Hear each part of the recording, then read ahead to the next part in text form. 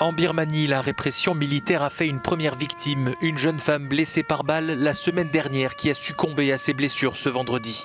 Mia, c'est son prénom, avait reçu une balle dans la tête au cours d'une manifestation le 9 février à Maipudao. Âgée de 20 ans, la jeune femme est devenue une icône du mouvement anti-putsch. Des dizaines de manifestants brandissent sa photo lors des marches de contestation.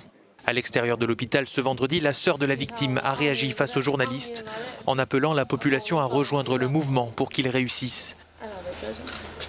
Les autorités ont affirmé que seules des balles en caoutchouc étaient utilisées par les forces de sécurité. Une affirmation démentie par des médecins ayant pris en charge des blessés. Ils ont indiqué qu'au moins deux personnes avaient été touchées par des balles réelles. L'incident serait intervenu alors que la jeune femme s'abritait des canons à eau dans la capitale. Une vidéo qui documente la scène montre Mia tomber soudainement au sol après qu'une balle ait pénétré le casque de moto qu'elle portait.